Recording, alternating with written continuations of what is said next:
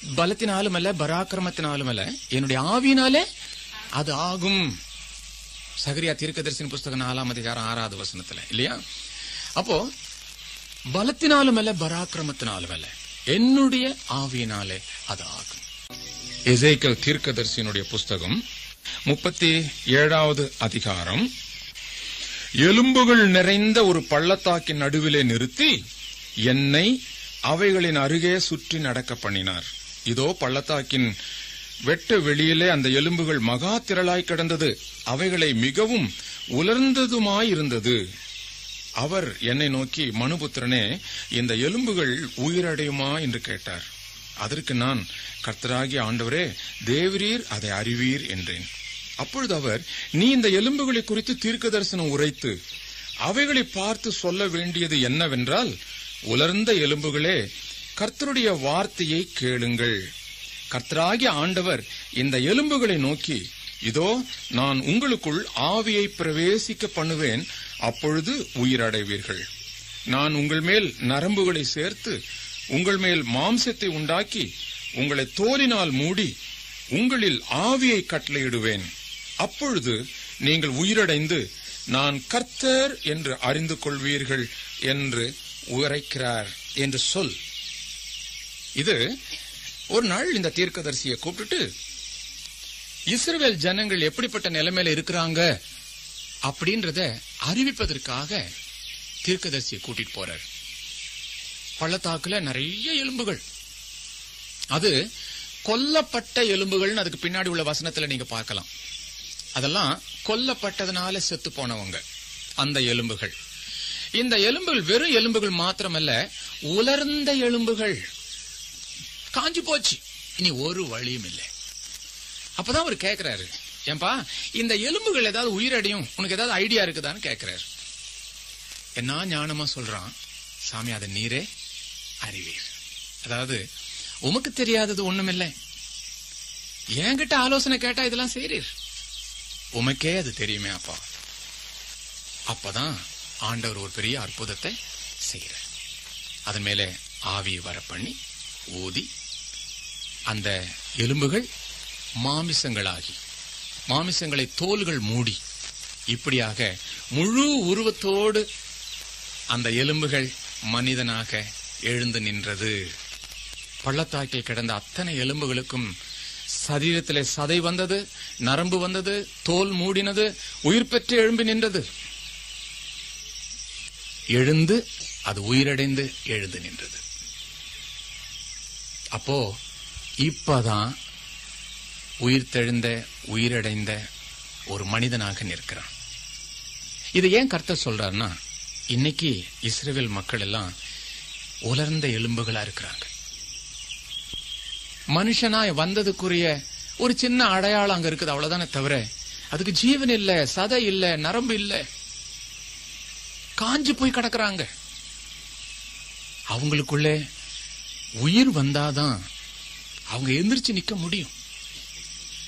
இது யாரு செய்ய முடியும்? கர்த்தரே செஞ்சாதான் முடியும். அந்த இடத்துல தெளிவுபடுத்துறாரு. உனக்கு ஏதாவது ஐடியா இருக்குதா?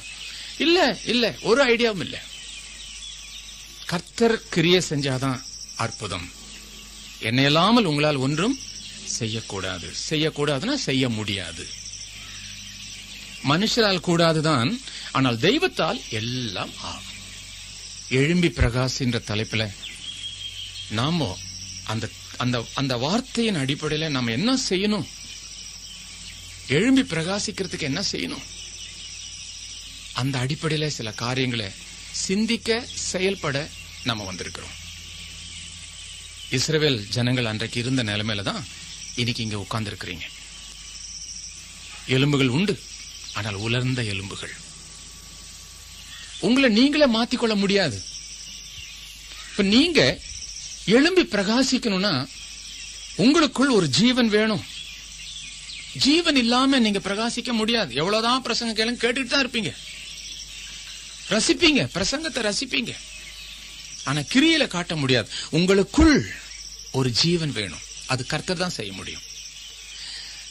பலத்தினாலும் அல்ல பராக்கிரமத்தினாலும் அல்ல என்னுடைய ஆவியினாலே அது ஆகும். சகரியா தீர்க்கதரிசன புஸ்தகம் நாலாம் அதிகாரம் ஆறாவது வசனத்துல இல்லையா? அப்போ பலத்தினாலும் அல்ல பராக்கிரமத்தினாலும் அல்ல என்னுடைய ஆவியினாலே அது ஆகும். எழும்பி நிற்பதற்கு கர்த்தருக்காக பிரகாசிப்பதற்கு அடிப்படை இங்க முதலாவது போட்டிருக்கிறாங்க உயிர்த்தெழுதல். அந்த உயிர்த்தெழுதலுக்கே முக்கியம் அடிப்படை ரட்சிப்பு. இந்த ரட்சிப்பு உங்களுடைய வாழ்க்கையில சரியானபடி இல்லைன்னா அந்த ரட்சிப்பின் அடிப்படை உங்களுடைய வாழ்க்கையில இல்லைன்னா நீங்க உயிர் அடைந்தோ அல்லது நிக்கிறேன்னு சொன்னாலும் பிரயோஜனம் இல்லை நல்லா எழுதியிருக்கிறார். ஃபவுண்டேஷனே ரட்சிப்பு தான். திருச்சபைக்கு ஃபவுண்டேஷனும் ரட்சிப்பு தான். திருச்சபையினுடைய உபதேசங்கள்ல பாருங்க. எபிரேயருக்கு நிருபம் ஆறாம் அதிகாரம் முதல் வசனத்துல திருச்சபையினுடைய உபதேசத்தை போட்டிருக்குது. கிறிஸ்துவை பற்றிய மூல உபதேசம் இவைகளை நீங்கள் விட்டு விடாமல் மனம் திரும்புதல். தேவன் பேரில் வைக்கிற விசுவாசம் வரிசையா சொல்லிட்டு வர்றார். ஆறு காரியங்கள் எங்களை சொல்லிட்டு வர்றார். அந்த அடிப்படையில முதல் பகுதி என்ன? மனம் திரும்புதல். அதுக்கப்புறம் தான் நிறைய உபதேசத்தை சொல்றார். திருச்சபையினுடைய மிக முக்கியமான காரியம். ஒரு விசுவாசினுடைய கிறிஸ்தவன் சொல்லிக் கொள்கிற ஒரு மனுஷனுடைய ஜீவித்துல முதல் முதல் காணப்படுகிறது மனம் திரும்புதல். ரட்சிப்பு. மனம் திரும்புதல் ரட்சிப்பு ரெண்டும் ஒண்ணுதான். இயேசு இந்த பரலோக ராஜ்யத்தில் பிரவேசிக்கிறதுக்கு ஒரு கண்டிஷன் கொடுத்தாரு. யோவான் மூணாம் அதிகாரம் மூணாவது வசனத்துல ஒருவன் மறுபடியும் பிறவாவிட்டால் அவன் தேவனுடைய ராஜ்யத்தை காண மாட்டான் பிரவேசிக்க மாட்டான். மறுபடியும் பிறக்கிற அனுபவம். மறுபடியும் பிறக்கிற அனுபவம். இதுதாங்க அடிப்படை. நாம் எழுந்து பிறகு பிரவேசிக்க பிரகாசிக்க கர்த்தருக்காக வாழ நமக்கு அடிப்படை மனம் திரும்புதல் வேணும். இந்த அடிப்படை இல்லாம ஊழியத்துக்கு போறேன்னு ஆசைப்படுறவங்க நிறைய பேர் இருக்கிறாங்க. ஊழியத்துக்கு போகணும். நான் தீர்மானம் பண்ணிட்டேன். தியாலஜி செமினரி ஒரு போன வருஷம் நினைக்கிறேன் தியாலஜி செமினரிக்கு போனப்போ வந்திருக்கிற குருவானவர்களுக்கு வேண்டி படிக்கிற அந்த படிப்புக்காக வந்திருக்கிற மாணவர்களை பார்த்து கேட்குறேன் உங்களை எத்தனை பேர் ரட்சிக்கப்பட்டிருக்கிறீங்க? அப்படின்னா நாலஞ்சு பேர் தான். மற்றவங்க யாரும் அந்த அனுபவம் பெற்றுக்கொள்ளலை. ஊழியம் செய்யணும்னு ஆசை ஊழியத்துக்குன்னு வந்துட்டாங்க. இந்த அடிப்படை உபதேசத்தின் இந்த அனுபவமே இல்லாம நாளைக்கு இவங்க கையில திருச்சபையை கொடுத்தோம்னாக்கா என்ன ஆகும்? ரட்சிப்பை தவிர மத்ததெல்லாம் சொல்லிட்டு இருப்பாங்க. இல்லையா? அப்ப அந்த ரட்சிப்பின் அனுபவம் இல்லாம திருச்சபை வளர்ந்துச்சுனாக்கா அதுலதான் பிரச்சனைகள் எழும்புகிறது. உபதேசிக்கிறவர்களுக்கு அந்த அனுபவம் வேணுமே. அப்போ அடிப்படை உபதேசம் மூல உபதேசம் கர்த்தர் எதிர்பார்க்கிற முதல் உபதேசம் மனம் திரும்புதல். மனம் திரும்புதல். பரலோ ராஜ்யத்துல போய் நியாயத்திருப்பின் சமயத்துல நீ ஞானஸ்தானம் எடுத்தியா? நீ அந்நிய பாஷை பேசுறியா? இதெல்லாம் முதல்ல கேட்க மாட்டார். முதல் கேள்வியை நீ மனம் திரும்பிருக்கிறியாப்பா? மனம் திரும்பாம நீ உள்ள பிரவேசிக்க முடியாது. அதனாலதான் இந்த முதல் கூட்டத்தின் நான் பேசுற இந்த முதல் கூட்டத்திலேயே அடிப்படையை நீங்க தெரிஞ்சுக்கங்க. அதுக்கப்புறம் எப்படி பிரகாசிக்கிறன்றத நான் உங்களுக்கு நாளைக்கு சொல்றேன். அடிப்படை ரட்சிப்பு. சிலர் என்ன சொல்றாங்க? டாக்டர் நான் ரட்சிக்கப்பட்டனான்றது எனக்கே சந்தேகமா இருக்குதுன்றாங்க. நான் ரட்சிக்கப்பட்டனா இல்லையான்றது எனக்கே தெரியல. அடிப்படையே இல்ல. அடிப்படை இல்லாமல நீ கிறிஸ்தவ வாழ்க்கை வாழ்ந்துட்டு இருக்கிற நிறைய பேருக்கு இயேசுவை தெய்வமா ஏற்றுக்கொண்டிருக்கிறாங்க. ஆனா ரட்சிக்கிறவராக நிறைய பேர் புரிஞ்சிக்கல. தெய்வமா ஏற்றுக்கொள்றது வேற ரட்சிக்கிறவராக புரிந்து கொள்ளுகிறது வேற. நிறைய பேர் சொல்லுவாங்கல்ல அந்த தெய்வத்தை விட ஆ, இயேசு பரவாயில்லைங்க. பரவாயில்ல. ஆ, பரிசுத்தம் பரவாயில்ல. வல்லமை பரவாயில்ல. அந்த தெய்வத்தோட இதுக்கு நல்ல வல்லமை இருக்குது. இப்படி தெய்வத்தை கம்பேர் பண்ணி பண்ணி இது பரவாயில்லைங்க. இந்த தெய்வம் பரவாயில்ல. ஆகவே அந்த தெய்வத்தை நான் ஏற்றுக்கிறேன். என் குழந்தைக்கு சுகம் ஆச்சு. எங்கெங்கயோ கூட்டிட்டு போனேன் கிடைக்கல. கடைசியில ஒரு கூட்டத்துக்கு வந்தேன் சுகமாச்சு அன்னையில இருந்து இயேசுவை ஏற்றுக்கொண்டேன். ரைட்டு கர்த்தர் அது மூலியமா நிறைய பேரை சந்திக்கலாம். ஆனால் அதல்ல அடிப்படை. நீ தெய்வமாக ஏற்றுக்கொண்டிருக்கிறிய தவிர அவர் ரட்சிக்கிறவராக ஏற்றுக்கொள்ளல. அது எப்படி? அது என்ன வித்தியாசம்? இயேசுவை தெய்வமா ஆராதிக்கிறது. ரைட்டு ஆனால் ரட்சிக்கிறவர். எதிலிருந்து ரட்சிக்கிறவர்? நம்மை பாபத்திலிருந்து ரட்சிக்கிறவர். இனி பாவம் செய்யாமல் நம்மளை காத்து கொள்ளுகிறவர்கள் கொள்ளுகிறவர். இது ரொம்ப முக்கியம். அப்போ தெய்வமா ஏற்றுக்கொள்வது மற்றவர்களு மற்றவர்களுடைய உபதேசத்தோடு சமப்படுது எம்மதமும் சம்மதம். எல்லா தெய்வமும் ஒண்ணுன்ற மாதிரி ஆயிடும். ஆனால் இந்த தெய்வத்தினுடைய அடிப்படையே என்ன தெரியுமா? அவர் தெய்வமா ஏற்றுக்கொள்றவங்க எல்லாத்தையுமே அவர் ரட்சிக்கிறவர். ஆனா இது நீ புரிஞ்சுக்கிட்டா தானே முடியும். புரிஞ்சு அவர்கிட்ட கேட்டா தானே முடியும். ஆண்டவரே நான் உங்க தெய்வமா ஏற்றுக்கொண்டேன். ஆனா எனக்கு இன்னும் அந்த பழைய சுபாவத்தில் இந்த விடுதலை இல்லையே. நான் இதுல இருந்து வந்திருக்கிறேன். ஆனா உங்க தெய்வமா ஏற்றுக்கொண்டேன். இப்ப நான் அந்த பழைய விக்கிரகத்துக்கு போல. ஆனா அந்த பழைய பொட்டு நான் இன்னும் போட்டுட்டு தான் இருக்கிறேன். பழைய அந்த சா- அந்த நாள் பாக்குறது இன்னும் நாள் பார்த்துட்டு தான் இருக்கிறேன். பழைய நேரம் பாக்குறது இன்னும் நேரம் பார்த்துட்டு தான் இருக்கிறேன். இன்னும் அது போகவே இல்லை. அப்போ அவர் ரட்சிக்கிறவராகவே நீங்க புரிஞ்சுக்கல. தெய்வமா நீங்க ஆராதிச்சிட்டு இருக்கிறீங்க அப்போ இயேசுவை நீங்க நேசிக்கிறீங்களே தவிர அவருடைய நோக்கம் என்ன? அவர் எதுக்காக இந்த உலகத்துல வந்தார்? எதுக்காக ரத்தம் சிந்தினார்? நிறைய பேருக்கு புரியல. ஃபுல் காஸ்பல் ஃபுல் காஸ்பல் சொல்லுவாங்களே. கேள்விப்பட்டிருக்கீங்களா? நிறைய பேருக்கு அதனுடைய அர்த்தமே தெரியாமலே சொல்லிட்டு இருப்பாங்க ஃபுல் காஸ்பல் நாங்கெல்லாம் ஃபுல் காஸ்பல் சர்ச் என்ன ஃபுல் காஸ்பல் அப்படின்னாக்கா உடனே சொல்லுவாங்க ரட்சிப்பு ஞானஸ்நானம் அந்நிய பாஷை அபிஷேகத்தின் அந்நிய பாஷை இது ஃபுல் இல்ல. அது காஸ்பல் அல்ல. காஸ்பல் என்று சொன்னால் நற்செய்தி. நற்செய்தினாக்கா என்ன அது இயேசு இந்த உலகத்துக்குள்ளே பாவ பரிகாரியாக வந்து மறித்தார் அவர் உயிர்த்தெழுந்தார். இதுதான் நற்செய்தி. இனி நம்ம பாவத்துல சாக வேண்டிய அவசியம் இல்லை. பாவத்துக்காக பலி செலுத்த வேண்டிய அவசியம் இல்லை. நாம் பாவத்தின் பரிகாரமாக நாம் தண்டனை அனுபவிக்க வேண்டிய அவசியமே இல்லை. அது எல்லாவற்றுக்கும் அவர் அதையெல்லாம் சிலுவையிலே சுமந்துட்டார். இது சந்தோஷமான செய்தியாச்சே. சந்தோஷமான செய்தி. பெரிய ஒரு தொகை நீ பேங்க்ல அடைக்க வேண்டியது. உனக்கு பதிலா யாராவது ஒருத்தர் அடைச்சிட்டாங்கன்னு வை. எப்படி இருக்கும்? எவ்வளவு பெரிய சந்தோஷம். இந்த வேலையை உனக்கு கிடைக்கவே கிடைக்காது. என்னுடைய தகுதி எனக்கு படிப்பு உண்மையிலே எனக்கு இல்ல நிச்சயமா கிடைக்காது. ஆனா கிடைச்சிருச்சு.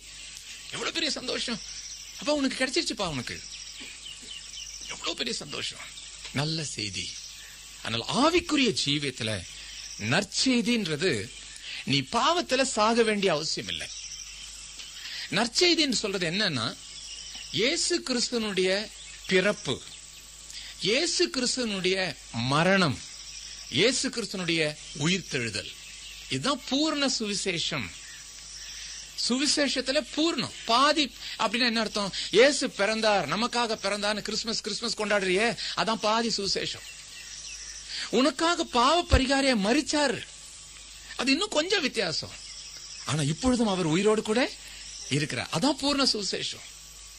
சுவிசேஷன்றது இயேசுவை பற்றி மற்றவர்களுக்கு அறிவிக்கிறது தான் அந்த நல்ல செய்தி. பாவத்திலே சாக வேண்டாம். இயேசு உனக்காக சிலுவிலே மறித்தார் இதான் சுசேஷம் மற்றபடி பூர்ண சுசேஷம் சொல்லிக் கொள்கிறதுனுடைய காரியம் என்ன? அது பூர்ண உபதேசம் சொல்லலாம். அது சுசேஷம் என்று சொல்ல முடியாது. எப்படி அதை பழக்கத்துல அப்படி கொண்டு வந்தாங்களோ எனக்கு தெரியல. ஃபுல் காஸ்பல் ஃபுல் காஸ்பல் சொல்றாங்களே. எப்படி அதை அந்த உபதேசங்களை போய் காஸ்பல் சொல்றாங்கன்னு எனக்கு விளங்கலை. விளங்கல சுவிசேஷம் ஃபுல் காஸ்பல் என்று சொன்னாலே இதேதான். இயேசு கிறிஸ்தனுடைய பிறப்பு. ஏன் இயேசு இந்த உலகத்துல பிறக்கணும்? இயேசுனுடைய மரணம். எதுக்காக அவர் மறிக்கணும் இப்ப அவர் செத்து போன தெய்வமா? இல்ல உயிருள்ள தெய்வம். அதான் பூர்ணமாகுது. ஏன் நீ ஆராதிக்கிற? அவர் உயிரோட கூட இருக்கிறார். நீ எப்படி பேசுற? கண்ணு மூடிக்கிட்டு முன்னாடி உருவமே இல்லையே. எப்படி பேசுற? அவர் உயிருள்ளவர். தேவன் ஆவியா இருக்கிறார் அவரை தொழுது கொள்ளவர்கள் ஆவியோடும் உண்மையோடும் தொழுது கொள்ளணும். அதனாலதான் விக்கிரகத்துக்கு முன்னாடி கை கூப்பி வணங்க கூடாது இயேசு கிறிஸ்துனுடைய போட்டோக்கு முன்னாடி கை கூப்பி வணங்கினா அது விக்கிரக ஆராதனை போட்டோக்குள்ள இயேசு அல்ல சிலர் எல்லாம் இயேசு கிறிஸ்துனுடைய போட்டோவுக்கு மாலை போட்டுருவாங்க ஊதுபத்தி வைப்பாங்க. இல்லையா சாயந்தரம் ஆனா கொசுவுக்கு தான் வச்சிருக்காங்க நான் பார்த்துருக்குறேன். இயேசுவை கடிக்க கூடாதுன்றதுக்காக வச்சாங்களோ என்னன்னு தெரியல எனக்கு. போட்டோவை வச்சு சாயந்தரம் ஆனாக்கா ஊதுபத்தி கொளுத்தி வச்சிடுறது. கொளுத்துறதுக்கு உனக்கு வேற இடம் இல்லை? அந்த சந்து தான் பார்த்து உடனே சொருகி வச்சிடுறது. அதே மாதிரி மாலை போட்டு வச்சுக்கிறது. சாதாரணமா வீட்டில் யாராவது ஒரு போட்டோக்கு மாலை போட்டா என்ன அர்த்தம் ஆகும் நமக்கு? தமிழில் தமிழ்ல. செத்து போட்டாங்கன்னு தான் அர்த்தம். அதுக்கு தான் மாலை போடுறதுனுடைய அடையாளம். அதே மாதிரி ஒரு படத்துக்கு முன்னாடி விளக்கு வைப்பாங்க இந்துக்கள். அதுவும் அர்த்தமும் அதுதான். என்ன? செத்து போனவங்களுடைய அடையாளம். இன்னைக்கு இயேசு கிறிஸ்தனுடைய போட்டோக்கு முன்னாடி மெழுகு தெரிய கொளுத்தி வைக்கிற. செத்தா போயிட்டாரு. அவர் ஜீவனுள்ள தேவன். அவர் உயிருள்ள தெய்வம். நீ போட்டோல அவரை பார்க்க முடியாது. அதனாலதான் கிறிஸ்தவங்க சரியான விசுவாசிங்க கண்ணை மூட சொல்றது. நிறைய பேருக்கு அதனுடைய நோக்கம் தெரியறதில்ல. ஒரு ஆளை ஜபம்னு சொன்னா எப்ப பார்த்தாலும் கண்ணை திறந்து எல்லாத்தையும் பார்த்துட்டு இருப்பான். ஏன் யா ஜபத்துல கண்ணை திறக்கிறேன்னா சொல்றான் ஜபத்துல விழுத்திருங்கள்னு வசனம் சொல்லுதான். அந்த ஒரே ஒரே ஒரு வசனத்துக்கு தான் அவன் கீழ்ப்படிஞ்சிருக்கிறான் அவன். எப்படி இருக்குதுன்னு யோசனை பண்ணி பாருங்க.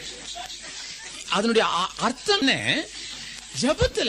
நீ ஜெபிக்கணும்னு சொல்லப்பட்டிருக்குது. பைபிள்ல சில சில வார்த்தைகள் எல்லாம் இன்டைரக்ட் மீனிங்ல சொல்லப்பட்டிருக்கும். என்ன சொல்லப்பட்டிருக்கும்? திருவிருந்த தவறான முறையில எடுத்தனாக்கா மூணு தண்டனைகள்ல ஒன்னு சொல்லியிருக்குது. ஒன்னு பலகீனம் ஒன்னு வியாதி அப்புறம் நித்திரை. ஒன்னு நிக்கிற நாலாம் அதிகாரத்துல கடைசி பார்த்த பார்த்தா நித்திரை அடைந்தவர்களை குறிச்சு நீங்க அழுகிறது எனக்கு துக்கமா அது அது என்ன? அது துக்கமா இருக்குது நீங்க அப்படி அழக்கூடாதுன்னு அவர் சொல்றாரு. நித்திரை அடைந்தவர்களை குறித்து அப்படின்னு என்ன தூங்கிட்டு குறித்து என்ன சொல்லுது? செத்து போனவங்களுக்கு தான் ம- நம்முடைய தமிழ் புஸ்தகத்தினுடைய மொழிபெயர்ப்பில் நித்திரைன்ற வார்த்தையை கொடுக்கறாங்க. தண்டனைகளில் சாவுக்கு நித்திரைன்ற வார்த்தையை கொடுக்கறாங்க. அதே மாதிரி ஜெபம் சொல்லும்போது அந்த வி- ஜெபத்துல அலர்ட்டா இருங்கள்னு அர்த்தம். ஜபத்துல உற்சாகமா இருங்கள்ன்றதுக்கு தான் அந்த மொழிபெயர்ப்பு கொடுத்திருக்கிறாங்க. அர்த்தத்தை இஷ்டம் போல எடுத்துட்டு முழிச்சிட்டு உட்காந்துட்டு இருக்கிறது அதுலதான் வர்ற பிரச்சனை. அப்போ கர்த்தருடைய பிள்ளைகள் நம்ம கண்ணை மூடனுடைய நோக்கம் என்னன்னா எண்ணங்கள் சிதறாம இருக்கிறது ஒரு முக்கியமான காரியம். அடுத்தது தேவன் ஆவியா இருக்கிறார். அவரை தொழுது கொள்ளவர்கள் உண்மையோடும் ஆவியோடும் தொழுது கொள்ளணும். உன் சரீர கண்ணில் அவரை பார்க்க முடியாது. அதனால சரீர கண்ணை மூடி இருதய கண்ணை நீ திறக்கலாம். அதுல கல்வாரி காட்சியை பார்க்கலாம். இயேசு உனக்காக வேதனைப்படுகிறத பார்க்கலாம். அதுக்கு தான் உன்னை கண்ணை மூட சொல்றது. எண்ணங்கள் சிதறாம இருக்கிறதுக்கு ரொம்ப உதவியா இருக்கும். ஆகவே கண்ணை மூடி நம்ம ஜெபிக்கும் போது அந்த படத்துக்கு முன்னாடி கை கூப்பி வணங்கக்கூடாது. தேவன் ஆவியா இருக்கிறார். அப்போ உயிருள்ள ஒரு தெய்வம் நம்முடைய தெய்வம் அதான் நமக்கு இருக்கிற ஒரு பெரிய பலனே அதுதான். ஏன் கிறிஸ்தவங்க ஞாயிற்றுக்கிழமை ஆராதிக்கிறாங்க? சனிக்கிழமை தான் நியாயப்பிரமாணத்தின் பிரகாரம் ஓய்வு நாள். இல்லையா? அப்புறம் ஏன் கிறிஸ்தவங்க இப்படி ஞாயிற்றுக்கிழமை ஆராதிக்கிறாங்க? காரணம் என்ன? இயேசு உயிர்த்தெழுந்த நாள். கிறிஸ்தவங்களுக்கு ரொம்ப பிரதானப்பட்ட ஒரு நாள் என்ன? உயிர்த்தெழுந்த நாள் தான் அவர் மாத்தம் உயிரோடு கூட இல்லைன்னா இன்னைக்கு மற்ற தெய்வம் வந்தது செத்ததுன்னு மாதிரி கதை முடிச்சிட்டு போயிடும். நமக்கு இருக்கிற தைரியம் நம்ம எவ்வளோ கஷ்டத்தின் மத்தியில நம்முடைய நம்முடைய ரத்த சாட்சியை மறிக்க கூட தைரியம் இருக்கிறதுக்கு ஒரே ஒரு காரணம் என்னை ஆ நான் ஆராதிக்கிற தெய்வம் உயிருள்ளவர். அவர் என்னை கவனிக்கிறார். அவருடைய பார்வையில நான் இந்த வேதனையை அனுபவிக்கிறத. அவர் கவனிக்கிறார். அதுதான் உங்களுக்கு தைரியப்படுத்துது. அதுதான் உங்களை பலப்படுத்துது. ஆகவே நாம் ஆராதிக்கிற தெய்வம் உயிருள்ள தெய்வம் அவர் உயிர்த்தெழுந்த தெய்வம்ன்றதுனாலதான் அவர் உயிர்த்தெழுந்த நாளில கர்த்தருடைய பிள்ளைகள் கூடி ஆராதிச்சாங்க. சனிக்கிழமைக்கு பேரு ஓய்வு நாள். ஆனா இன்னைக்கு கிறிஸ்தவங்க ஞாயிற்றுக்கிழமை கூட ஓய்வு நாள்ன்றாங்க. தவறு. அதை ஓய்வு நாள் சொல்லக்கூடாது. அது கர்த்தருடைய நாள். கர்த்தருடைய நாள். அதனால தானே யோவன் சொல்லும்போது சொல்ல நான் கர்த்தருடைய நாளிலே ஆவில நிரப்பப்பட்டேன். இல்லையா வெளிப்படுத்தின விசேஷம் சொல்லும்போது அப்பதானே தரிசனத்தை பாக்குறாரு ஞாயிற்றுக்கிழமையில அது நடந்ததுன்றதுக்காக தான் அவர் சொல்றார் நான் கர்த்தருடைய நாளிலே ஆவியிலே நிரப்பப்பட்டேன். அது கர்த்தருடைய நாள்னு தான் சொல்லணுமே தவிர ஓய்வு நாள் சொல்லக்கூடாது. ஓய்வு நாள் பள்ளின்னு சொல்லுவாங்க. தவறு. அது சண்டே ஸ்கூல்னு சொல்லலாம். ஞாயிறு பள்ளி. அப்படின்னு சொல்லலாமே தவிர ஓய்வு நாள் பள்ளின்னு சொல்லக்கூடாது. அதே மாதிரி ஞாயிற்றுக்கிழமைய ஓய்வு நாள் சொல்லக்கூடாது. கர்த்தருடைய நாள். ஆனா சனிக்கிழமை தான் ஓய்வு நாள். ஆறு நாள் நீ வேலை செஞ்ச ஏழாவது நாள் நீ ஓய்ந்திருக்கணும்னு சொன்னதுனால அது ஓய்வு நாள். ஆனால் இயேசு கிறிஸ்து வந்து மரித்து உயிர்த்தெழுந்ததுக்கு பிறகு ஓய்வு நாள் இல்ல கர்த்தருடைய நாள். ஆக நீ அந்த நாள்ல ஓய்ந்திருக்க கூடாது. ஆவிக்குரிய காரியத்தை நீ சிந்திக்கணும். ஆவிக்குரிய காரியங்களை நீ கதைக்கணும். ஆராதனைக்கு போகணும் தேவனை துதிக்கணும் ஆவிக்குரிய காரியத்தை குறித்து அந்த நாளில மெடிடேஷன் பண்ணணும். அது கர்த்தருடைய நாள் கர்த்தருடைய நாள். அந்த நாள்ல முழு நாளும் டிவியில முன்னாடி உக்காந்துட்டு இருக்காத கர்த்தருடைய நாள் அது கர்த்தருக்குரியது. ஆகவே நீ அந்த நாளிலே கர்த்தருடைய காரியத்தை சிந்திக்கணும்.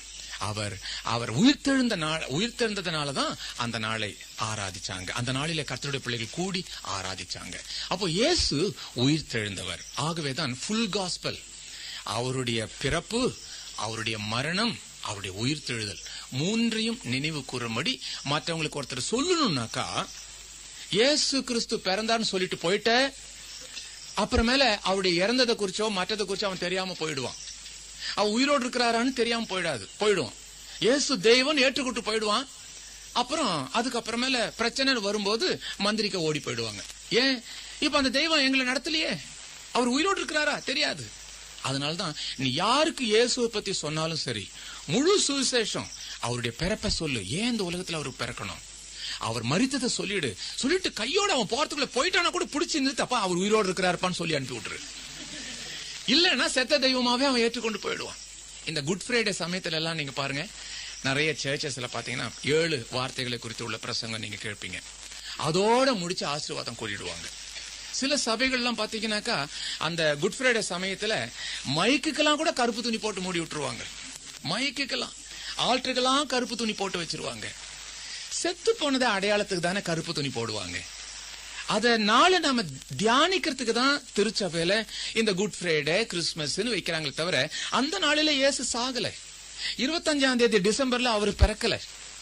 அவர் பிறந்ததை நினைவு கூறுவதற்கு உலகமெல்லாம் சேர்ந்து ஒரு நாளை எடுத்தாங்க. அந்த நாள் எல்லாருக்குமே வசதியா இருந்ததுனால எல்லாரும் அந்த நாளில அந்த காரியத்தை நினைவு கூறதுனால நமக்கு தவறே இல்லை. அது பிழை அல்ல. ஆனா டிசம்பர் மாசம் இருபத்தஞ்சாம் தேதி இயேசு பிறக்கல. அப்படிப்பட்ட சரித்திரம் இங்க கூறப்படலை. அப்போ ஏன் இதை நம்ம செய்யறோம் நினைவு கூறுதல். எந்த நாள்ல வேணாலும் நம்ம நினைவு கூறலாம். இயேசுனுடைய பிறப்பை இயேசுனுடைய மரணத்தை. அப்போ குட் ஃப்ரைடே சமயத்துல ஐயோ உயிர்த்தெழுதலை பத்தி எப்படிங்க சொல்றது? அது ஞாயிற்றுக்கிழமை சொல்ல வேண்டிய பிரசங்கங்க அது. ஞாயிற்றுக்கிழமை தான் ஈஸ்டர். இப்ப போய் குட் ஃப்ரைடேல போய் உயிர்த்தெழுதான்னு சொல்லிட்டு உட்காந்துட்டு இருக்கிறீங்களே குட் ஃப்ரைடே சமயத்துல இயேசுனுடைய பிறப்பை சொல்லணும் இயேசுனுடைய உயிர்த்தெழுதலையும் சொல்லணும். அதான் பூர்ண சுவிசேஷம். ஆகவே இந்த முழு சுவிசேஷம் பூர்ண சுவிசேஷம் சொல்றது இயேசுனுடைய பிறப்பும் அவருடைய மரணமும் அவருடைய உயிர்த்தெழுதலையும் குறிச்சுதான். அப்படி நம்முடைய வாழ்க்கையில அவர் உயிர்த்தெழுந்த ஒரு தேவனாய் நம்ம ஏற்றுக்கொள்றதுக்கு அடிப்படை இயேசு நம்முடைய பாவங்களுக்காக மறித்தார் அந்த அந்த அந்த ரட்சிப்பை அந்த அந்த ரத்தம் நம்முடைய பாவங்களை கழுவி சுத்திகரிக்கணும். திருச்சபனுடைய அஸ்திபாரமே இந்த மனம் திரும்புதல் தான் ஆரம்பிக்குது. அப்ப ஒவ்வொரு கிறிஸ்தனுடைய வாழ்க்கையிலையும் மனம் திரும்புதல் மிக மிக முக்கியம். அப்ப மனம் திரும்புதல் தான் என்ன? ரட்சிப்பின் அனுபவத்தை எப்படி பெற்றுக்கொள்றது? அதை நான் எப்படி தெரிஞ்சுக்கிறது? நான் ரட்சிக்கப்பட்டிருக்கிறேனா இல்லையா என்பதை எப்படி தெரிஞ்சு கொள்றது முதலாவது கர்த்தருடைய வசனத்தின் அடிப்படையில் நீ உறுதிப்படுத்திக்கணும். ஒன்னு அவன் ஒன்னாம் அதிகாரம் ஏழாவது வசனம் என்ன சொல்லுது? இயேசு கிறிஸ்தனுடைய ரத்தம் சகல பாவங்களையும் கழுவி சுத்திகரிக்கிறது. ஒன்னியவன் ஒன்னாம் அதிகாரம் ஒன்பதாவது வசனம் என்ன சொல்லுது? நாம் பாவங்களை அறிக்கை செய்தோமானால் அதை மன்னிப்பதற்கு அவர் உண்மையும் நீதியும் உள்ளவராய் இருக்கிறார். உண்மையும் நீதியும் உள்ளவராய். நீ மன்னிப்பு கேட்டனா அவர் மன்னிப்பதற்கு உண்மையும் நீதியும் உள்ளவராய் இருக்கிறார். அப்ப நீ மன்னிப்பு கேட்டது உண்மையானாதான் இந்த வசனத்தின்படி அவர் மன்னிக்கிறார். ஒரு வாரம் கழிச்சு மன்னிக்கிற தேவன் அல்ல. நீ எப்ப கன்ஃபஸ் பண்றியோ எப்ப நீ கேட்டியோ அப்பவே மன்னிக்கிறார். இப்போ தனிப்பட்ட முறையில் கவுன்சிலிங் வந்தபோது ஒருத்தர் கேட்டாங்க ஏன் நாங்கள் மனுஷங்கிட்ட போய் அந்த மன்னிப்பை பெற்றுக்கொள்ள முடியாதா? ஃபாதர்கிட்ட போய் அந்த மன்னிப்பை பெற்றுக்கொள்ள முடியாதா? அதில் என்ன பிழை இருக்கிறது? அப்படிலாம் கேட்டாங்க. நல்ல கேள்விகள்லாம் கேட்டாங்க. வாசவத்தில் அது நல்ல கேள்விகள் தான். புரியாதனால தான் அந்த கேள்விகள். மனுஷனிடத்துல மன்னிப்பு கேட்கக்கூடாது. அதே மாதிரி செத்து போன செயின்ட்டுகளோடு மன்னிப்பு கேட்கக்கூடாது. ஏன்னா அவங்களாம் செத்து போனவங்க ஆனா இயேசு கிட்ட ஏன் மன்னிப்பு கேட்கிறோம்? காரணம் அவர் உயிருள்ளவர். அவர் செத்தார் தான் ஆனா உயிரோடு கூட இருக்கிறார். அவங்க கிட்ட மனம் விட்டு நம்ம நேரா பேசலாம். அப்போ சிலர் சொல்லுவாங்க நமக்கு ஒரு மீடியேட்டர் அவசியமாச்சே. யாராவது ஒருத்தர் மத்தியஸ்தர் வேணுமே. நம்ம அவ்வளவு தூரம் அவர்கிட்ட நெருங்க முடியாது. பிதா கிட்ட நெருங்க முடியாதுன்றதுக்காக தான் குமாரன் அனுப்புனார். இவர்கிட்ட நீ நெருங்கலாம். இவரோடு நீ பேசலாம். இவரோடு கதைக்கலாம். இவரை சிநேகிதனாக நீ பாவிக்கலாம். சொல்லுது இல்லையா நான் சிநேகிதனை போல அவனிடத்துல முகமுகமாய் நான் பேசினேன். அவருக்கு ரொம்ப ஆசை அது. சிநேகிதன் கிட்ட பேசுற மாதிரி மனம் விட்டு பேசணும்னு அவர் ரொம்ப ஆசைப்படுறாரு. நாம கூட அந்த மாதிரி பேசலாம். சிநேகிதனாக what a friend we have in Jesus இல்லையா? எவ்வளவு நல்ல ஒரு சிநேகிதன் எனக்கு உண்டு. நல்ல தெய்வம்னு அவர் சொல்லல. நல்ல சிநேகிதன். ஏன்னா சிநேகிதங்கிட்ட மனம் விட்டு பேசுற மாதிரி பெத்தவங்க கிட்ட கூட பேச மாட்டாங்க. உங்களுக்கு தெரியுமா? எவ்வளோ சில ரகசியங்கள் எல்லாம் சொல்லுவாங்க பையன் ஏன் இப்படி இருக்கிறான்? என்னன்னு தெரியல. அவன் யாருகிட்ட நெருங்குறானோ அவங்கிட்ட கொஞ்சம் கேளுங்க விஷயம் தெரிஞ்சிடலாம் அப்படின்னு வாங்க காரணம் அநேக ரகசியங்களை மனம் விட்டு நண்பர்கிட்ட பேசலாம். அதே மாதிரிதான் கர்த்தர் சொல்றாரு. நீ என்கிட்ட மனம் விட்டு பேசுமா? ஐயா என்கிட்ட மனம் விட்டு பேசு.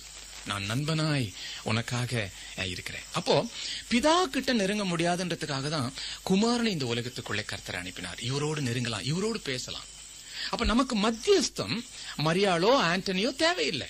இயேசுவே நமக்காக மீடியேட்டரா இருக்கிறார். என்ன வேதத்துல ரெஃபரன்ஸ் அது? ஒன்னு தீமத்தினுடைய புஸ்தகம் இரண்டாம் அதிகாரம் அஞ்சு ஆறு வசனம். தேவனுக்கும் மனுஷனுக்கும் மத்தியஸ்தன் ஒருவரே அவர் இயேசு கிறிஸ்து. தெளிவா சொல்லியிருக்குதே. மீடியேட்டர் ஒருத்தர் தான். அது இயேசு கிறிஸ்துன்னு தெளிவா சொல்லியிருக்குது. ஆகவே உன்னுடைய காரியங்களை மனம் விட்டு இயேசுனிடத்துல பேசலாம். கன்ஃபஸ் பண்றது இயேசுகிட்டே சொல்லலாம். நான் இந்த மாதிரி பாவம் செஞ்சிருக்கிறேன் என்ன மன்னியும் என்று சொல்லி நீ கேட்கலாம். அப்போ மன்னிப்பை உடனே அருளுகிறவர் இயேசு. அவருக்கு தான் அந்த ஆத்திரசேஷன் இருக்குது. உடனே மன்னிப்பு கொடுப்பார். அப்போ நீ இயேசு கிட்ட உன்னுடைய பாவத்தெல்லாம் அறிக்கை செய்தது உண்மையானால் இந்த வசனத்தின்படி அவர் மன்னிப்பு கொடுத்ததும் உண்மை. ஏன்? வசனம் பொய் சொல்லாது. கர்த்தருடைய பைபிள் என்ன சொல்லுது? வானம் பூமி ஒழிந்து போனாலும் என்னுடைய வார்த்தைகள் ஒரு நாளும் ஒழிந்து போகாது. அவர் சொன்னால் சொன்னதுதான். பொய் பேச தேவன் ஒரு மனுஷன் அல்ல. நீ உன் சொல்லுவேன் அவர் உன் செய்ய இன்னொரு தடவைக்கு நீ செய்யாம போயிடுவேன். அது மனுஷன் புத்தி. ஆனா தேவன் சொன்னால் சொன்னபடி செய்வார். உன்னை மன்னிக்கிறேன்னா நிச்சயம் மன்னிக்கிறார். ஆகவே இந்த வாக்கு தத்துவத்தின்படி நீ என்னைக்காவது ஒரு தனி இடத்துல அல்லது கூட்டத்துல ஆராதனையில நீ உணர்ந்த சமயத்துல ஆண்டுடைய சமயத்துல ஆண்டவரே நான் பாவி. நீர் என்னை கிருபியாய் மன்னியும் ஆண்டவரே. என்று சொல்லி என்னைக்காவது நீ அழுது இருந்தனாக்கா ஜெபிச்சிருந்தனாக்கா அந்த நிமிஷத்துல கர்த்தர் உன்னை மன்னிக்கிறார். கர்த்தர் உன்னை மன்னிக்கிறார். வாக்கு தத்தம் ஒரு நாளும் பொய்யாகாது. அப்படி நீ செஞ்சிருக்கிறது உண்மையானா இந்த வசனத்தின்படி உனக்கு உறுதி கிடைச்சிருச்சு. ஓ ஆமா அன்னைக்கு ஒரு நாள் நான் பாவத்தை அறிக்கை செஞ்சேன்.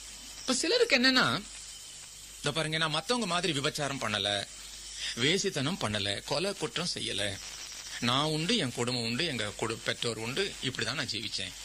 நான் என்னத்துக்கு மன்னிப்பு கேட்கணும்? ஒன்னு யோவான் ஒன்னாம் அதிகாரம் எட்டாவது வசனம் அதை பத்தி தான் சொல்லுது. நமக்கு பாவம் இல்லை என்போமானால் நம்மை நாமே வஞ்சிக்கிறவர்களாக இருக்கிறோம். நம்மை நாமே ஏமாத்திக்கிற ஆகவே பாவம் இல்லைன்னு யாரும் சொல்லக்கூடாது.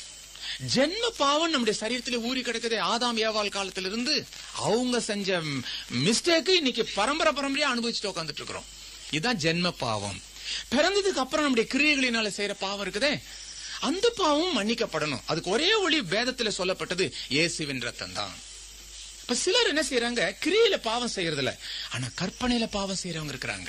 கற்பனையில. இமேஜினேஷன் அப்போ சரீரத்துல நான் பாவம் செய்யலன்னு சொல்லுவாங்க. எல்லாரும் போய் படுத்துருவாங்க. நீயும் படுத்துருவ. நீயும் கண்ணை மூடிடுவேன் ஆனா உன்னுடைய எண்ண அலைகள் எப்படிலாம் யோசிக்குது தெரியுமா? எப்படி எப்படி காரியங்கள் எல்லாம் அசிங்கமாலாம் கற்பனை பண்ணி பாக்குது தெரியுமா? அப்போ சிந்தனையில அவர்கள் வீணராய் போனார்கள் வசனம் சொல்லுது. காரணம் உன்னுடைய சிந்தனை பரிசுத்தமாக இல்லை. அவைகள் கழுவப்பட வேண்டும். அப்போ நீ பாவின்றத இப்ப புரிஞ்சுக்கிச்சியா? நீ சரீரத்துல பாவம் செய்யல. சிந்தனையில பாவம் செஞ்சிருக்கிற. உன்னுடைய கண்களிலே நீ பாவம் செஞ்சிருக்கிற. இவைகள் எல்லாம் கழுவப்படணும். இயேசுவின் ரத்தத்தினாலே கழுவப்பட்டாதான் உனக்கு பரலோக ராஜ்யத்திலே பிரவேசிக்க முடியும். உன் பாவங்கள் மன்னிக்கப்படட்டும். அதுக்காக நீ என்ன செய்யணும்? முதல்ல பாவத்தை நீ அறிக்கை செய்யணும். சில சொல்றாங்க நான் வார வாரம் பாவத்தை அறிக்கை செய்யறேன் போதாதா? அப்படின்னு அது மனப்பாடம் பண்ணி ஒப்பிக்கிற சங்கதி. ஆனா அது மனப்பூர்வமா உள்ளத்தின் ஆழத்திலிருந்து நீ சொல்றதா இருந்தா அது சரியாக அப்படி இருக்கும். நீதிமொழியில் புஸ்தகம் இருபத்தெட்டாம் அதிகாரம் பதிமூணாவது வசனத்துல பாவங்களை மறைக்கிறவன் வாழ்வடைய மாட்டான் அறிக்கை செய்து விட்டு விடுகிறவனுக்கு என்ன செய்து? இறக்கம் தேவனுடைய இறக்கம் கிடைச்சிருது. அறிக்கை செய்தவனுக்கு அல்ல நல்லா கவனிச்சுங்க பாவத்தை அறிக்கை செய்தவனுக்கு அல்ல அறிக்கை செய்த பாவத்தை விட்டு விட்டவனுக்கு தேவ இறக்கம் வந்துருது. தேவனுடைய இறக்கம் வந்துருச்சுன்னா உன் பிரச்சனை மாறிடுது. தேவ இறக்கம் வந்துருச்சுன்னா வியாதி சுகமாயிடுது. தேவ இறக்கம் வந்துருச்சுன்னா உன்னுடைய படிப்புல வெற்றி. தேவனுடைய இறக்கம் உன்னுடைய வியாபாரத்துல வெற்றி. தேவனுடைய இறக்கம் உன்னுடைய வியாதியில சுகம். எல்லா காரியத்திலும் வெற்றி. தேவ இறக்கம் இருக்கணும். ஆகவே அந்த இறக்கத்தை பெற்றுக்கொள்றதுக்கு ஒரே வழி நீ பாவத்தை ஒத்துக்கொண்டா மாத்திரம் போதாது. அறிக்கை செய்து அதை விட்டு விட வேண்டும். இதுதாங்க திட்டவட்டமா சொல்லுது. இப்போ நீங்களே யோசனை பண்ணி பாருங்க. நீ ரட்சிக்கப்பட்டியா இல்லையான்றது உனக்கு தெரியும். அடுத்தது நீ ரட்சிக்கப்பட்டன்றதுக்கு உறுதி என்ன தெரியுமா? நீ ரட்சிக்கப்பட்ட உடனேயே இனி உன்னுடைய பழைய வாழ்க்கை மாறும். வாசிக்கிற புஸ்தகங்கள் மாறும். நீ யாருகிட்ட அடிக்கமா நெருங்கிட்டு இருக்கிற அந்த நட்புகளிலே வித்தியாசம் வர ஆரம்பிச்சிடும் அவங்கள வெறுக்க மாட்டேன். ஆனா இப்போ அந்த அந்த தவறான நண்பர்கள் உனக்கு இஷ்டமே இருக்காது. இப்ப பாருங்க ஆவிக்குரிய புஸ்தகத்தை தேடுவேன். ஆவிக்குரிய பிரசங்கங்கள் ரேடியோல எப்ப கேட்கலாம்னு உனக்கு ஒரு ஆசை வரும். முன்ன அப்படி இல்லையே. சினிமா பாட்டு கேட்கணும்னு அவ்வளவு ஆசையா இருப்பியே. இப்போ உன்னுடைய எண்ணங்கள் எல்லாம் மாறி போச்சு. எல்லாம் முழு வித்தியாசம். அதான் வசனம் சொல்லுது. ஒருவன் கிறிஸ்துவுக்குள் இருந்தால் அவன் புதிய சிருஷ்டி ஆயிடுறான் அதாவது ரிப்பேர் பண்றதில்ல. பழச ரிப்பேர் பண்ணி பண்ணி அங்க ஜாயின் பண்ணி வைக்கிறதில்ல. புது சிருஷ்டினா தலையில இருந்து கால் வரை புதுசு. சொ- சொல்லுவாங்களே ஐயோ முன்ன எப்படி இருந்தா இப்ப எப்படியா மாறிட்டான்? தலைகீழா மாறிட்டான்னு சொல்லுவாங்களே. இதுதான் புதிய சிருஷ்டின் பேரு. நீ கிறிஸ்துவுக்குள் வந்துட்டேனாக்கா உன்னுடைய செய்கைகளிலே மாற்றம் காணப்பட வேண்டும். எங்க ஆவிக்குரிய நண்பர்கள் இருக்காங்க எங்க ஜபக்குழு இருக்குது எங்க கன்வென்ஷன் நடக்குது அவனுடைய ஆத்மா தேடிக்கிட்டு இருக்கும். இதை வச்சே நீங்க எப்படி ரட்சிக்கப்பட்டிருக்கீங்கன்றத இப்ப நீங்க நிதானிச்சு கொள்ள முடியும். ஒண்ணு வசனத்துல உறுதிப்படுத்திக்கலாம். ரெண்டாவது இந்த நடவடிக்கைகளில் ஏற்படுகிற மாற்றத்தை வச்சு நீ உறுதிப்படுத்திக்கலாம். இப்பவே நீங்க மனசாட்சியில யோசனை பண்ணி பாருங்க. நான் உண்மையிலேயே ரட்சிக்கப்பட்டிருக்கிறேனா? இல்லனாக்கா இன்னைக்கு ராத்திரியே நீ ரட்சிக்கப்படுவது உனக்கு நல்லது. இந்த ராத்திரியில நீ ரட்சிக்கப்படலன்னா நீ இந்த இந்த மூணு நாள் கேம்ப்லயும் உனக்கு ஒன்னும் பிரயோஜனம் இருக்காது. என்ன ஆழமா பிரசங்கிச்சாலும் உனக்கு ஒன்னும் மனசுல ஏறாது. உள்ளத்துக்குள்ள போகவே போகாது. ரட்சிப்பின் அனுபவத்தை பெறாம அடிப்படை அந்த ரட்சிப்பின் உபதேசத்தை நீ தெரிஞ்சுக்காம இந்த மூணு நாள்ல உட்காருக்கிறத விட இன்னைக்கு ராத்திரி நீ மூட்டை கட்டி நீ வெளியே போறது நல்லது.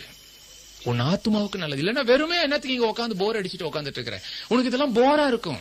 பிரசங்கெல்லாம் அருவ அருவன்னு சொல்ல ஆரம்பிச்சிருவே ஆகவே இன்னைக்கு ராத்திரி நம்ம ரட்சிக்கப்படலாமா? ரட்சிப்பின் சந்தோஷத்தை நீ இன்னைக்கு ராத்திரி நீ பெற்றுக்கொள்ளாமே. கர்த்தர் எப்பவுமே அடுத்த நாளுக்கு தள்ளி போடுகிற தேவன் அல்ல. இப்பொழுதே ரட்சிப்பு. இன்றையே இன்றைக்கே ரட்சிப்பு. அப்படிதான் வசனம் சொல்லுது. இவ்வளவு தூரம் சொல்லியும் இந்த ரட்சிப்பின் சந்தோஷத்தை பெற்றுக்கொள்ள நீ மறுக்கிறேன் வை. தேவன் விடமாட்டார். நிச்சயம் விட மாட்டார் எப்படியாவது நீ பரலோகத்துல பிரவேசிக்கணும்ன்ற அந்த ஆசையில கர்த்தர் என்ன செய்வாரு? நீ ரட்சிக்கப்படும்படியாக சில காரியத்தை அனுமதிப்பார். அடிக்கடி என்னுடைய பிரசங்கத்துல கேட்டிருக்கலாம். கர்த்தருக்கு எப்பவுமே ரெண்டு ஆயுதங்கள் இருக்குது. ஒன்னு கிருபியின் ஆயுதம் இன்னொன்னு சிக்ஷையின் ஆயுதம். கிருபியா நல்ல விதமா சொல்லி பார்ப்பார். மகனே மகளே அந்த பாவத்தை விட்டுடுமா? அந்த தொடர்பை நீ விட்டுடு. அந்த ஜீவியத்தை நீ விட்டுடு. அம்மா சொல்றாங்க அப்பா சொல்றாங்க குடும்பத்தினர் சொல்றாங்க வேத வசனம் சொல்லுது. பாவ ஜீவியத்தையும் பாவ தொடர்பையும் விட்டுடு. நீ கேட்கலன்னாக்கா அடுத்தது சிக்ஷையின் ஆயுதம். சிக்ஷையின் ஆயுதம். ஏன் அதை செய்யறாரு உண்மையான தகப்பன் தன்னுடைய தன்னுடைய தன்னுடைய மகனை சிட்சிப்பான் என்று வேதம் சொல்லுது. இல்லையா? பிரம்பை கையில் எடுக்காத தகப்பன் பிள்ளையை பகைக்கிறான். நீ உண்மையில பிள்ளைய நேசிக்கிறதா இருந்தா நீ தண்டிப்ப. தப்பு நடக்கிறப்போ பிழை நடக்கிறப்பெல்லாம் நீ தண்டிச்சு சரிப்படுத்துவேன் அதே வழியை தான் கர்த்தர் சொல்றார். நீ ரட்சிக்கப்படணுன்றதுக்காகத்தான் நல்ல விதமா உன்னை இங்க கூட்டிட்டு வந்திருக்கிறார். நீ ரட்சிக்கப்படாமலே நீ திரும்பி போறனாக்கா அடுத்தது தேவன் இரண்டாவது ஆயுதத்தை உன் பக்கத்துல கொண்டு வருவார். அது சிற்றியின் ஆயுதம். சிற்றியின் ஆயுதம். நாளைக்கு பின்னாடி நீ கண்ணீர் விட்டு ஐயோ எனக்கு தெரியாம போயிடுச்சே இது எனக்கு முன்னே தெரிஞ்சிருந்தா நான் இப்படி பாவம் செஞ்சிருக்க மாட்டேன். அப்படி சொல்லவே முடியாது. கர்த்தர் உனக்கு எச்சரிப்பு கொடுத்ததுக்கு இந்த மைக்கு சாட்சி இந்த ஸ்பீக்கர் சாட்சி நீ உட்கார்ந்து இருக்கிற இடம் சாட்சி உன்னுடைய காது சாட்சி நீ ஏமாத்தவே முடியாது. ஆண்டவருக்கு முன்னாடி சில சமயத்தில் சொல்லுவாங்க இல்லைங்க நான் நான் எப்படியோ திடீர்னு தவறு பண்ணிட்டேன். தெரியாம தவறு பண்ணிட்டேன். இல்லை. முன்னாடியே அதுக்கு முன்னாடியே கர்த்தர் எச்சரிப்பு கொடுத்தும் மனசாட்சியில உனக்கு உணர்த்தி கொடுத்தும் நீ கீழ்ப்படியில. அதுக்கப்புறம் தான் நீ பெரிய விழுகல நீ விழுந்திருக்கிற. கர்த்தர் வார்னிங் கொடுக்கிறார். ஃபர்ஸ்ட் வார்னிங் செகண்ட் வார்னிங்ன்ற மாதிரி கர்த்தர் உனக்கு பல முறை எச்சரிப்பு கொடுத்தார். இப்ப இதுதான் உனக்கு முதல் கூட்டம் நினைக்கிறியா? இல்ல உன் காதல நீ எத்தனை பிரசங்கத்தை கேட்டிருக்கிற? எத்தனை பிரசங்கம்? எத்தனை பேர் உனக்கு சொல்லி இருக்கிறாங்க ஆனா இந்த கூட்டத்துல வந்ததிலிருந்து நானும் நிறைய பேருடைய நடவடிக்கைகளை கவனிக்கிறேன். நிறைய பேருடைய வாழ்க்கையில சரியான ரட்சிப்பின் அனுபவம் இல்லாம நீங்க இங்க வந்திருக்கிறது உங்களுடைய நடவடிக்கை மூலியமாய் புரிய முடிகிறது. வேணாம் தம்பி நீ வந்த மாதிரியே திரும்பி போறது கர்த்தருக்கு பிரியமில்லை. இவ்வளவு செலவு பண்ணி வச்சதெல்லாம் எதுக்காக? இவ்வளவு தூரம் உன்னை அழைச்சு வந்தது எதுக்காக? இதனால இந்த ஸ்தாபனத்துக்கு என்ன நன்மை? பேக் டு த பைபிளுக்கு என்ன நன்மை? நீ ரட்சிக்கப்பட்டா என்ன? ரட்சிக்கப்படாட்டி போனா என்ன? ஏன் இவ்வளவு தூரம் இந்த ஸ்டெப் எடுக்கிறாங்க? ஒரு ஆத்துமா கூட கெட்டு போவது தேவனுக்கு விருப்பம் இல்லை அதை ருசிச்சவங்க அவன் கெட்டு போகாம இருக்கிறதுக்கு என்னென்ன ஆலோசனை கொடுக்கணுமோ அதுக்கெல்லாம் ஒரு சந்தர்ப்பத்தை உண்டாக்கி கொடுக்கறாங்க. கேட்கறதும் கேட்காததும் உன்னுடைய இஷ்டம். இவங்க ஆப்பர்ச்சுனிட்டி கொடுத்துட்டாங்க அவைல் பண்ண கொண்டியது உன்னுடைய இஷ்டம். கர்த்தர் வார்னிங் கொடுக்கற மாதிரி கொடுத்துட்டார். பல முறை கொடுத்துட்டார். யாருமே எனக்கு தெரியாம போயிடுச்சுன்னு சொல்லவே முடியாது. ஆதாம் ஏவாளுக்கு கர்த்தர் எச்சரிப்பு கொடுத்தார். அந்த பழத்தை சாகும் சாப்பிடும் நாளிலே நீ சாகவே சாவாய். ஆனா மிஸ்ஸஸ் ஆதாம் என்ன செஞ்சாங்க? தின்னு பார்க்கலாமே. என்ன என்ன விபச்சாரமா பண்ணிட்டோம்? என்ன வேசித்தனமா பண்ணிட்டோம்? பழத்தை தின்றது ஒரு பாவமாயா? இப்படிதான் சிலர் ஆர்கியூமெண்ட் ஆனா நடந்தது என்ன? அவர்கள் ஏதேன் தோட்டத்தை விட்டு வெளியே தள்ளப்பட்டார்கள். ஏன்? வார்னிங் கொடுத்தார் ஆண்டவர். இத்தனை வச்சிருக்கிற எல்லாம் உனக்காக தானே. விதவிதமான பழம். ஆனா குறிப்பிட்டு அந்த ஒரு மரத்துக்கிட்ட போகாத அந்த பழத்தை சாப்பிடாத எத்தனை முறை நான் சொன்னேன். கேட்கல. தேவனுடைய சமூகத்தை விட்டே வெளியே தள்ளிட்டார். இன்னைக்கு அவன் எவ்வளவு கஷ்டப்பட்டாலும் முள்ளும் குறுக்கும் தான் விளைந்ததுன்னு பைபிள் சொல்லுது. எவ்வளவு பாடுபட்டாலும் சரி அவனுக்கு நிம்மதியே கிடையாது. மனம் திரும்பாதவனுக்கு நிம்மதி கிடையாது. குற்ற உணர்ச்சி. பாவ சிந்தனைகளினால எப்ப பார்த்தாலும் குற்ற உணர்ச்சி. அவனுக்கு சந்தோஷமே இருக்காது. துர்மார்க்கனுக்கு சந்தோஷம் இல்லைன்னு பைபிள் சொல்லுது. ஏன்? அந்த குற்ற உணர்ச்சி. கர்த்தர் வார்னிங் கொடுக்கிறார். ஆதாம் ஏவாளுக்கு மானி வார்னிங் கொடுத்தார். அதே மாதிரி லோத்தினுடைய குடும்பத்துக்கு வார்னிங் கொடுத்தார். தெரியுமா? அந்த மலையின் மேல நீங்க சீக்கிரம் போய் தப்பிச்சிருங்க. ஆனா ஒரு கண்டிஷன் அந்த மலைக்கு போய் சேர வரைக்கும் நீங்கள் யாரும் திரும்பி பார்க்க கூடாது இங்கேயும் மிஸ்ஸஸ் லோத் என்ன பண்ணாங்க? திரும்பி பார்த்தா என்னன்னு திரும்பி பார்த்தாங்க. என்ன பிள்ளைங்க இது? நான் ஒரு பெரிய பாவமும் செய்யலையே. கண்ணுல பாக்குறது தப்பா? சில சொல்லுவாங்க எங்க சினிமா பாக்குறது தப்பா? சிகரெட் பிடிக்கிறது தப்பா? பைபிள் எழுதியிருக்குதா சார்? என்னமோ அந்த ஒரு வார்த்தைக்கு வசனம் இல்லாததுனால ரொம்ப கஷ்டப்படுற மாதிரி. மத்ததெல்லாம் கீழ்ப்படிச்சிட்டாங்க. இதுக்கு மாத்திரம் வசனம் தேடாம க- கஷ்டப்பட்டு தேடிட்டு இருக்காங்க. பைபிள் தெளிவா சொல்லுதே. தீமையாய் தோன்றுகின்ற எல்லாவற்றையும் விட்டு விலகு. ஆர்குமெண்ட் பண்ணாதே. பேசாம விலகிடு. ஆர்குமெண்ட் பண்ணாதே. வார்னிங் கொடுத்தாரே. அந்த மலைக்கு போற வரைக்கும் நீ திரும்பி பார்க்க கூடாதுன்னு சொன்னார். சின்ன காரியம். ஆனால் அவள் திரும்பி பார்த்தாள். உப்பு தூணாய் மாறி போனாள் ஆண்டவர் அதுக்கு தான் சாதாரணமா வசனம் சொல்ற தேவன் ஒரு இடத்துல என்ன சொல்றாரு? லோத்தின் மனைவியை நினைத்துக் கொள்ளுங்கள். நோவாவின் காலத்தை நினைத்துக் கொள்ளுங்கள். ஏன் ஞாபகப்படுத்த சொல்றாரு? நோவா காலத்துல இப்படிதான். இஷ்டம் போல ஜீவிக்கலாம் இஷ்டம் போல வாழலாம். இந்த மனுஷ சரீரம் எதுக்கு கர்த்தர் கொடுத்தாரு? இப்ப அனுபவிக்காம எப்ப அனுபவிக்கிறது? இஷ்டம் போல வாழலாம். லோத்து காலத்து இந்த நோவாவினுடைய காலத்துல அப்படிதான் நினைச்சாங்க. வெள்ளம் வந்தது. வரக்கூடிய காரிய ஆபத்தை கர்த்தர் எச்சரிப்பு கொடுத்தார். வெள்ளம் வரப்போகுது. ஜாக்கிரதை ஜாக்கிரதை. நோவா மூலியமா சொல்லி பார்த்தார். எல்லாம் சிரிக்க ஆரம்பிச்சாங்க. கிண்டல் அடிக்க ஆரம்பிச்சாங்க. பைத்தியக்காரையா ஐயா கடல் அங்க கிடக்குது ஆறு அங்க கிடக்குது தரையில வந்து கப்பலை கட்டிட்டு உட்காந்துட்டு இருக்கிறான். அப்படின்னு தான் அவங்க சிரிச்சாங்க. ஆனால் வெள்ளம் வந்து உலகத்தையே மூடினது. இப்ப கதறி அடிச்சுட்டு ஓடி வர்றாங்க நீஞ்சி நீந்தி வர்றாங்க. ஐயோ நோவா நோவா கதவை தர கதவை தர. யாருப்பா? கேட்ட குரல் மாதிரி இருக்குது. தெரியல? நான் தான் ரோவா. யாருப்பா? நான் தான் இதுக்கு தார் அடிச்சேன். ஓ தார் அடிச்சியே. கூலி வாங்கினியா? வாங்கினேன். அப்ப சரி போ. எத்தனை தடவை நீ வேலை செய்யும்போது உனக்கு சொன்னேன். வேலை செஞ்சிட்டே இருக்கும்போது சொன்னேன். ஜாக்கிரத ஜாக்கிரத. மழை வரப்போகுது. மனம் திரும்பு மனம் திரும்பு. கேட்கலையே. இப்படி நீ இப்போ நான் தான் இந்த கப்பலை கட்டினேனாலும் சரி. பிரயோஜனம் இல்லை. சில சொல்லுவாங்க இல்லையா? சார் தான் அந்த ஆலயம் இருக்குதே. ஒவ்வொரு கல்லும் எங்க அப்பம் கட்டினதுங்க. ஒவ்வொரு கல்லும் எங்க குடும்பம் தான் அதெல்லாம் கட்டி முடிச்சது. இப்படிதான் அன்னைக்கு கட்டி முடிச்சவன் கத்துற மாதிரி தான் கத்துவான். அவங்க ஐடென்டிஃபை பண்ணுவாரு நோவா பண்ணுவாரு. ஆமா கேட்ட குரல் தான் அப்படின்னு ஆனா நீ கட்டினப்பா. ஆனா உன் ஆத்மாவை நீ பாத்துக்கலையே எத்தனை தடவை சொன்னனே? நீ உள்ள பிரவேசின்னு சொன்னனே. அப்பெல்லாம் நான் உள்ள இப்ப வரமாட்டேன். இப்ப வர மாட்டேன் இப்பெல்லாம் அனுபவிக்க வேண்டியதெல்லாம் அனுபவிச்சுட்டு ரிட்டையர்ட் ஆகி காலை ஆடிட்டு இருக்கேன் பாருங்க அப்ப வரேன். அப்ப வரேன். வார்னிங்க்கு மேல வார்னிங் கர்த்தர் கொடுத்தார். கேட்கவே இல்லை.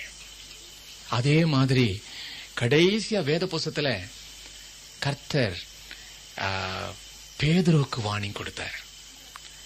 அதே மாதிரி யூதாஸ் காரியத்துக்கு வார்னிங் கொடுத்தார். இந்த ரெண்டு பேருக்குமே வார்னிங் கொடுத்தார். ஆனா இதுல ஒருத்தனுக்கு மீண்டும் ஜீவிக்க வழி கிடைச்சிருச்சு.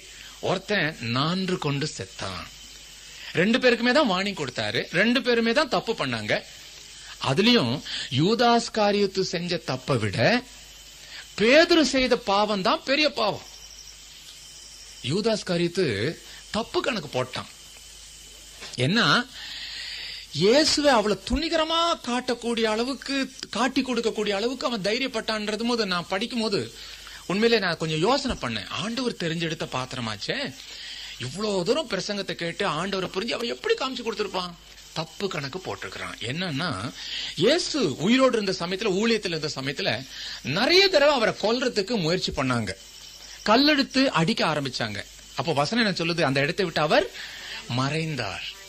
அப்போ டிசப்பியர் ஆகக்கூடிய ஒரு சக்தி ஆண்டவருக்கு இருக்குது இயேசுவுக்கு இருக்குதுன்றதை இவன் ரெண்டு மூணு முறை கவனிச்சிட்டான். இப்ப என்ன பண்ணா? ஒரு தப்பு கணக்கு.